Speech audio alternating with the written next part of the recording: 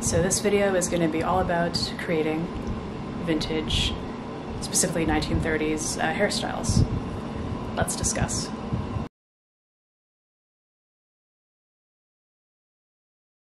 Hello and welcome to the Deco Minimalist. My name is Carrie and I create content about uh, 1930s fashion, vintage style, and glamour on a budget. Let me just stop babbling and let's get to it.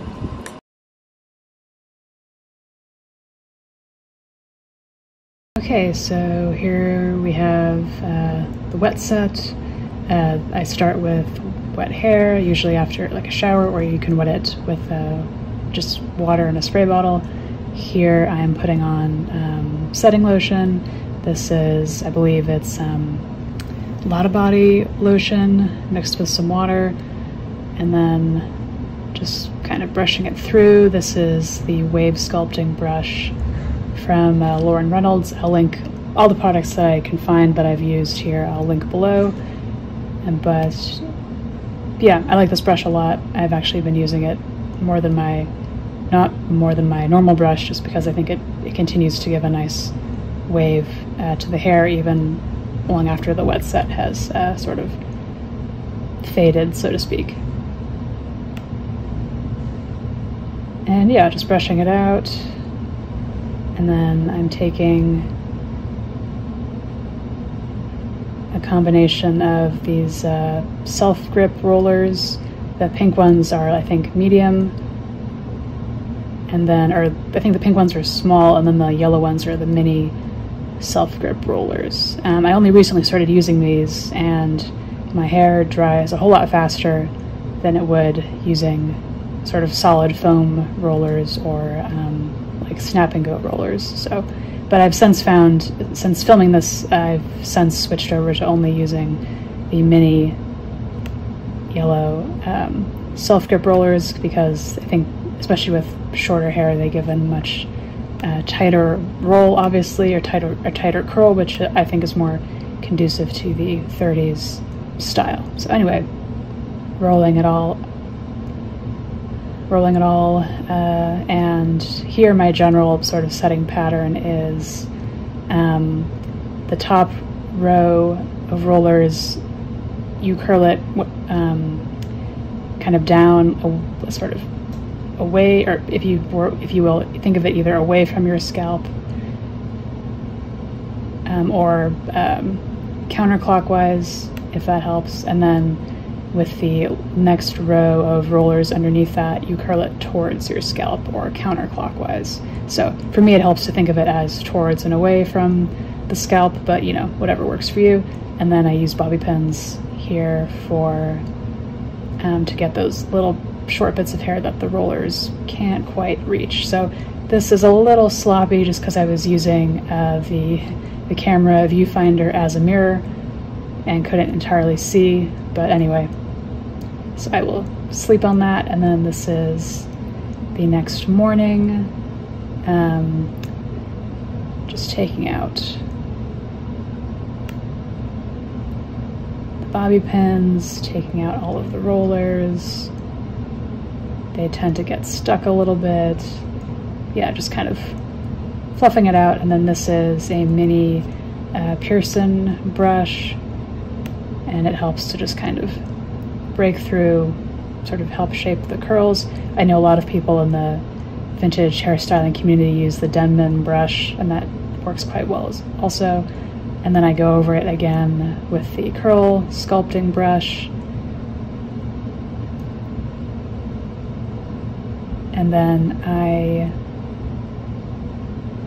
use, uh, well, I, I, also use pomade here, it, it needs to be said, so, you know, just to kind of help smooth out some of the flyaways. And then I'll use these kind of duckbill clips. These are also I got on Lauren Rennells' uh, website, and then intersperse that with these duck, with like the, the duckbill clip clips and then the, you can see it's kind of about pinching that wave or like where you see the wave start to form into the S shape and then sort of pinching it to hold it in place and to give these clips give it more of a defined um, edge, so to speak. And then I, I like to also put them at the back of the head just to give a little bit of structure in the back. And then I'll spray it with hairspray and then, you know, get dressed, whatever, have breakfast, do whatever. And then later, maybe half an hour to an hour later, I'll uh, come and take these clips out. And then in this case, I go over it with a smoothing brush just to kind of give it a little more shape. And then I can I also use bobby pins to again sort of help keep that structure a little bit. And yeah, this is the final look for a typical uh, wet set for, for me on my hair type.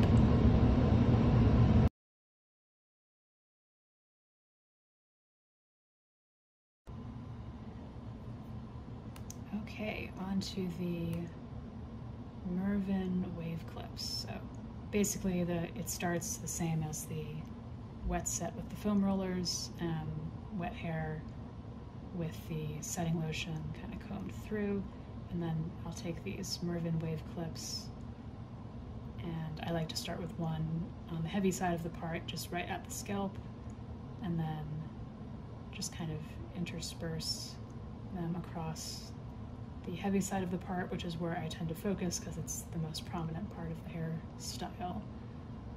And then one on the lighter side.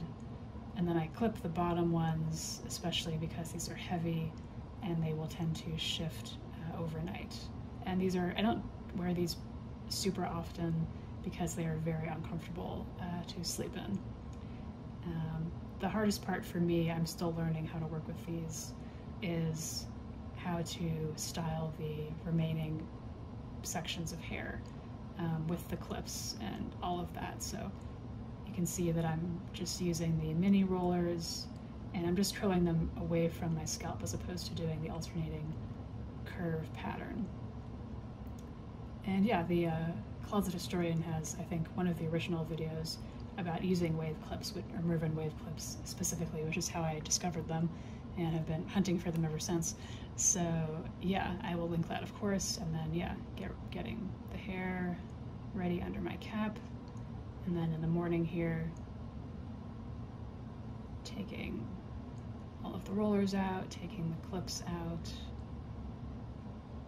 and what I think is and then I will, and then I'll you know, do hairspray and then also run the uh, smoothing comb lightly over the, the ridges and um, yeah, just give it some more hairspray.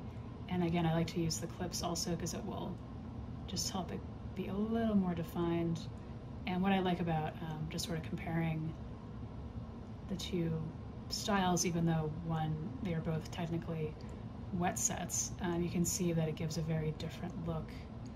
Um, that seems to me very reminiscent of, you know, I mean, obviously it's reminiscent of the time because this is for these, the clips are literally from, uh, you know, the mid-century. So it does give a look that I think would, um, that you would see in period photographs or, you know, high quality uh, production pieces like Downton Abbey or um, shows like that. So yeah, so it's a style that I like, and yeah, I hope uh, it just gives a different look. So I hope you can, I hope that's useful.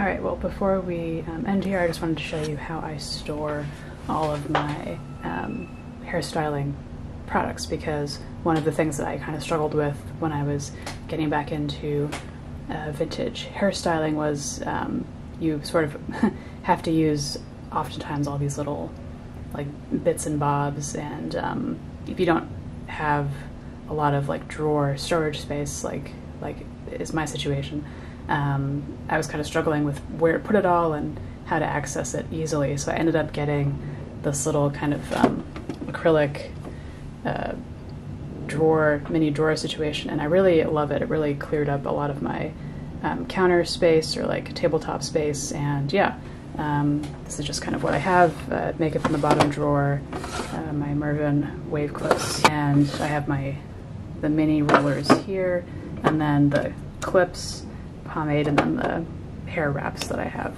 Um, yeah, and it's very light, very portable. I can access everything that I need, And um, yeah, I just thought I would throw that in there because once you start getting into vintage hairstyling, you can acquire a lot of stuff um, and it can be challenging to know where to put it all. So this has been my solution. And I've been very happy with it.